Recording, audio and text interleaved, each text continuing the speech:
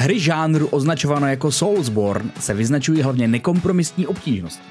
Těchto ničitelů periférií v poslední době vychází díky úspěchům her z dílny From Software stále více a dnes se podívám na šestici titulů, které vám mohly bez povšimnutí ujít.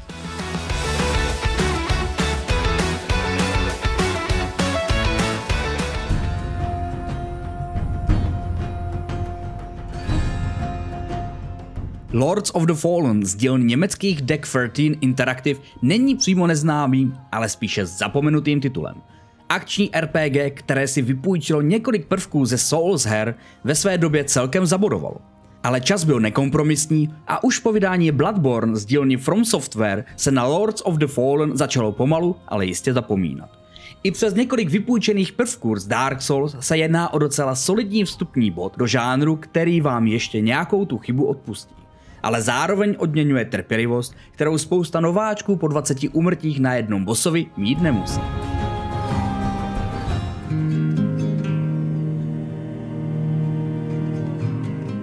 Ashen se dá do jisté míry považovat jako kopírka práce z dílny mistra Miyazakiho. Ale to není úplně na škodu. Novozélandský tým A44 koncem roku 2018 přišel s o něco stravitelnější verzí Soulsborne hry – která sice nedá hráč nic zadarmo, ale také ve spoustě prvků lehce podá pomocnou ruku. Do jisté míry se dá tento kousek přirovnat k Jedi Fallen Order od EA, jen s tím rozdílem, že vás dovede mnohem častěji k donutit k vyhození ovladače z okna. Na druhou stranu nabízí trochu akčnější přístup, takže se můžete více ponořit do soubojů.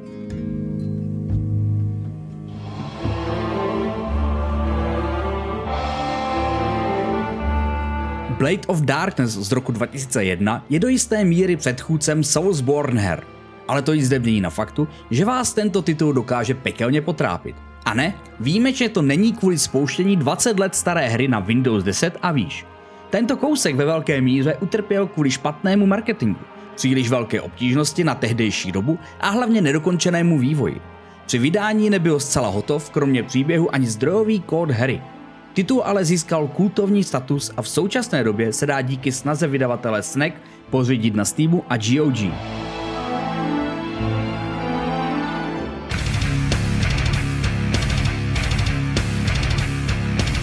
Indie záležitost Mortal Shell sice nenabízí originální koncept a propracovanou grafiku, ale snaží se o jedno. Vzdát poctu svému vzoru, kterým je bez pochyb první Dark Souls. Ne nutně v hratelnosti, ale atmosférou je z této hry první Dark Souls doslova cítit. RPG prvky zde nehledejte. Místo nich jsou zde čtyři hratelné tělesné schránky, které reprezentují jednotlivé biody. Fanoušci žánru si Mortal Shell určitě užijí. Jen je nutné mít na paměti, že pro vývojáře z Cold Symmetry se jedná o jejich prvotinu, takže nemusí být úplně vše v perfektní kondici.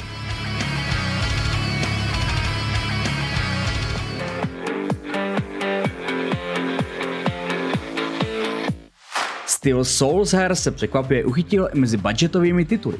A jedním z nich je Firelight Fantasy Force Energy. Za cenu pouhých 5 eur sice nedostanete hru s perfektní grafikou a propracovanou hratelností, ale potenciál do budoucna se v ní jistě najde. A pro příznivce severské mytologie, kterým nestačil God of War, by se mohlo jednat o příjemné zkrácení chvíle před Ragnarokem, nebo taky několika let, než se Sony dokope k vydání na PC.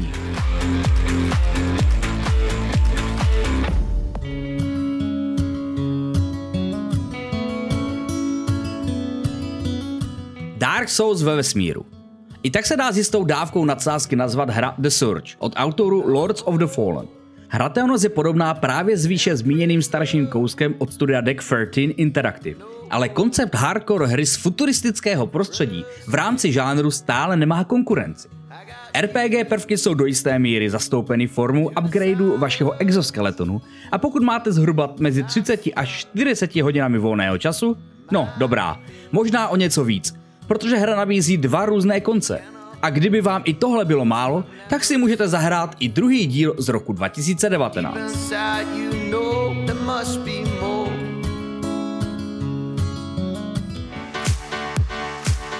Žánr Soulsborne her se neustále rozrůstá, vyvíjí a evoluje, ale jedno jisté.